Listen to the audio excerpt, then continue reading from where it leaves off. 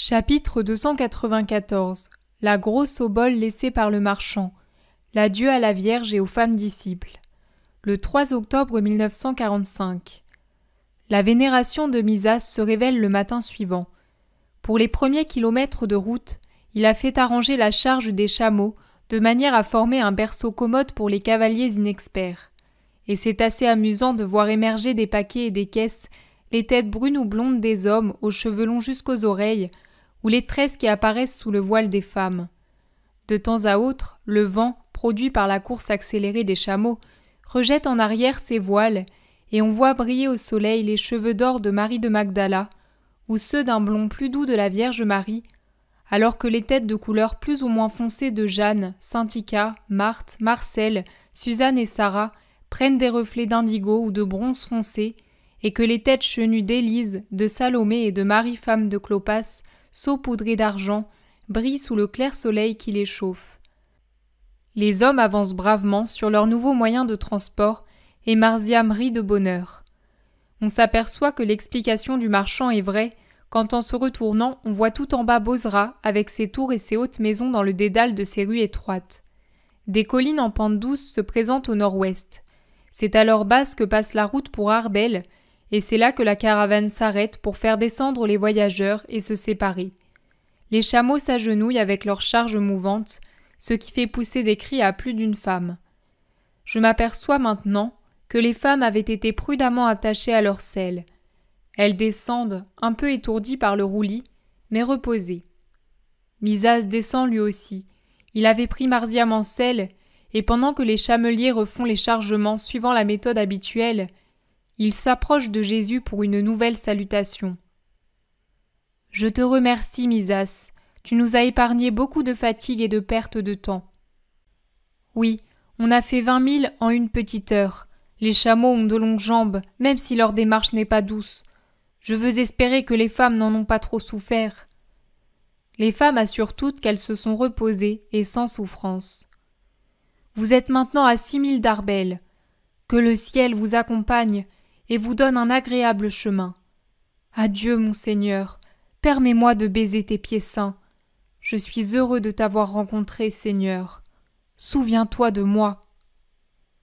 Misas baise les pieds de Jésus, puis remonte en selle et son crrr fait se lever les chameaux.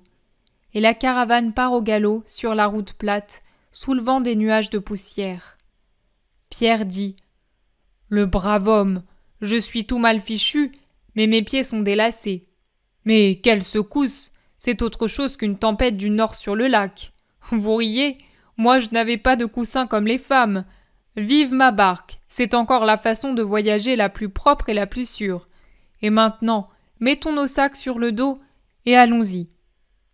C'est à qui prendra la plus lourde charge. Mais les vainqueurs sont ceux qui doivent rester avec Jésus, c'est-à-dire Matthieu, Simon le Zélote, Jacques et Jean, Hermasté et Timon. Ils prennent tout pour épargner les trois autres qui doivent partir avec les femmes, ou plutôt les quatre s'il faut compter Jean d'Andorre, mais comme il est mal en point, son aide aurait été toute relative. Ils marchent à vive allure pendant quelques kilomètres. Ils arrivent au sommet de la colline qui servait de paravent du côté ouest, et là réapparaît une plaine fertile entourée par un cercle de collines plus élevées que celles qu'ils avaient rencontrées auparavant. Au milieu s'élève une colline longue et isolée. Dans la plaine, une ville, c'est Arbel. Ils descendent et arrivent vite dans la plaine. Ils marchent encore quelque temps, puis Jésus s'arrête en disant Voici l'heure de la séparation. Prenons ensemble notre repas, puis séparons-nous. C'est la bifurcation pour Gadara. Vous prendrez cette route, c'est le chemin le plus court, et avant ce soir, vous pourrez être sur les terres que Cousa a en garde. Il n'y a guère d'enthousiasme, mais enfin on obéit. Pendant le repas, Marziam dit Alors, c'est le moment de te donner cette bourse. Elle m'a été donnée par le marchand quand j'étais en selle avec lui. Il m'a dit Tu la donneras à Jésus avant de le quitter, et tu lui diras de m'aimer autant qu'il t'aime. La voilà, elle pesait ici dans mon vêtement. Elle semble pleine de cailloux. Fais voir, fais voir. L'argent, c'est lourd. Ils sont tous curieux. Jésus délie les cordons de cuir qui ferment la bourse en peau de gazelle, je crois parce qu'elle me paraît être en peau de chamois, et il en renverse le contenu sur son vêtement. Des pièces de monnaie roulent. Mais c'est ce qu'il y a en moins grande quantité. Il en sort plein de sachets d'un bisus soyeux, des sachets attachés avec un fil. Des couleurs délicates transparaissent à travers le lin très fin, et le soleil semble allumer un petit brasier dans ces paquets, comme si c'étaient des braises sous une couche de cendres. Qu'est-ce que c'est? Qu'est-ce que c'est? Des lits, maître Tous sont penchés sur lui, qui dénoue calmement le nœud d'un premier paquet de feux blonds. Libérés, des topazes de différentes tailles, encore brutes, resplendissent au soleil. Un autre paquet, ce sont des rubis, des gouttes de sang coagulées. Un autre, voilà des éclats d'émeraude à la riante couleur verte. Un autre encore, des morceaux de ciel avec de purs saphirs. Un autre contient des douces améthystes, un autre l'indigo violet des béryls, un autre la splendeur noire des onyx, et ainsi de suite pour les douze paquets. Dans le dernier, le plus lourd, au milieu de toute la splendeur d'or des chrysolites, il y a un petit parchemin. Pour ton rational de vrai pontife et roi. Le vêtement de Jésus est un petit pré sur lequel sont effeuillés des pétales lumineux. Les apôtres plongent les mains dans cette lumière qui est devenue matière multicolore. Ils sont stupéfaits. Pierre murmure Si Judas était là Tais-toi Il vaut mieux qu'il n'y soit pas répond Jude avec brusquerie. Jésus demande un morceau de toile pour faire un seul paquet des pierres, et pendant que durent les commentaires, il réfléchit. Les apôtres disent mais il était bien riche cet homme. Et Pierre provoque les rires lorsqu'il s'écrie. Nous avons trotté sur un trône de joyaux. Je ne croyais pas être sur une pareille splendeur. Mais si cela avait été un peu plus moelleux, que vas-tu en faire maintenant? Je vais le vendre pour les pauvres. Il lève les yeux et regarde les femmes en souriant. Et où vas-tu trouver ici un joaillier qui achète cette marchandise? Où?